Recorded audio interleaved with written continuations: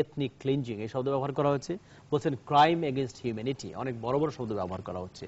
তো আমরা কোনটা দিয়ে আসলে পরিচিত শব্দ। জি।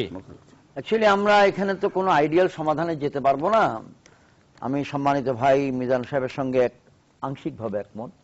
আন্তর্জাতিক বিশ্বের নিকট আমাদের আবেদনটা হবে মানবতা শব্দটাকে এমফেসাইজ করে।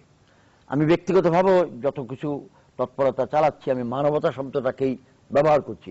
Crime against humanity human disaster humanitarian call to stand beside the Rohingya community আমার ফেসবুক ইংরেজিতে নাম লিখলেই দেখতে পাবেন আপনি। কিন্তু আমি কোনো অবস্থাতেই লাজুক সাই ফিল করতে চাই না যে তারা মুসলমান স্বীকৃতির আমি দিব না। আমার পাশের বাড়িতে, ইংরেজিতে একটা শব্দ আছে ডিভাইড এন্ড রুল না? আজকে এক জায়গায় পড়ছি আর কি, খুব মজার একটা শব্দ। বিখ্যাত রাজনৈতিক নেতা মোহাম্মদ আলী শওকত আলী দুই ভাই ছিলেন। সেই মোহাম্মদ আলী সাহেব উনিশশো একত্রিশ সালে লন্ডন গেছিলেন। ব্রিটিশ সরকারের আমন্ত্রণে গোল টেবিল বৈঠক আলোচনা করতে ভারতের রাজনৈতিক ভবিষ্যৎ নিয়ে। সেখানে তিনি এই উক্তিটা করেছিলেন যে you have a sentence in your language call divide and rule it's a classic case in India we divide and you rule আমাদের মুসলমান বিশ্বের জন্য এমন দাঁড়িয়েছে, আমরা মুসলমানগণ এই পৃথিবীতে নিজেদের মধ্যে নিজেরা ডিভাইডেড অবস্থায় আছি and the rest of the people are trying to rule over us এবং রুলটা আমি এটা প্রতীকী অর্থে বললাম। তো এটা মানবতার বিরুদ্ধে অপরাধ নিঃসন্দেহ। তবে যে জায়গাটায় আমি বলতে চাচ্ছি আরও যে আঠারোটা সেনাবাহিনীর একজন কর্মকর্তা হিসেবে এটার উপর আমার নিজস্ব লেখাপড়ার আল্লাহর রহমতের কোনো অভাব নাই। বাকি সতেরোটাই তো তারা ভাইলেন্ট মিয়ানমারের মাটি থেকে বের করে দিচ্ছে না থাইল্যান্ডে পাঠাচ্ছে না চায়নায় পাঠাচ্ছে না, বঙ্গোপসাগরে পানিতে পাঠাচ্ছে না।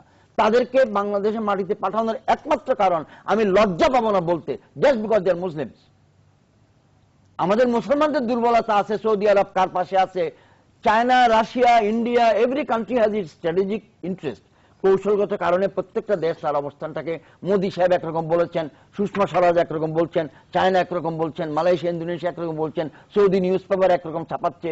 তা আমরা ওর মধ্যে যাব না। আমাদের আপিলটা পৃথিবীর কাছে, মানবতা। এতে কোনো সন্দেহ নেই।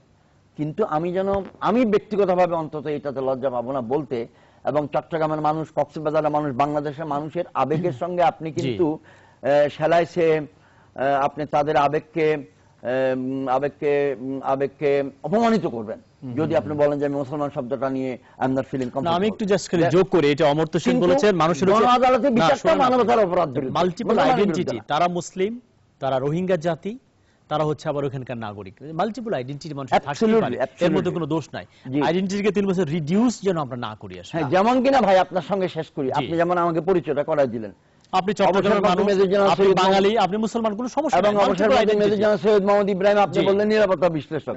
আমি তো একটা কল্যাণ বাড়ির চেয়ারম্যান তাহলে একটা মানুষের রিডিউস না করতে পারি রিডিউস না। আচ্ছা, না, না, তবে আমি- উনাকে ওনাকে করব করব না, অবশ্যই, তার সঙ্গে আমরা আমরা আলোচনা আসবে কিন্তু বিরতির পরে আচ্ছা। প্রিয় দর্শক আমাদের সঙ্গে থাকুন। আল্লাহ, আমি গণতন্ত্রে গণতন্ত্রে আজকে আমরা কথা বলছিলাম রোহিঙ্গা সংকট গণহত্যা ও গণ আদালত একটু পরেই আমরা ফিরে আসি। আপনাদের প্রশ্ন নিব মতামত নিব তর্ক তুলব।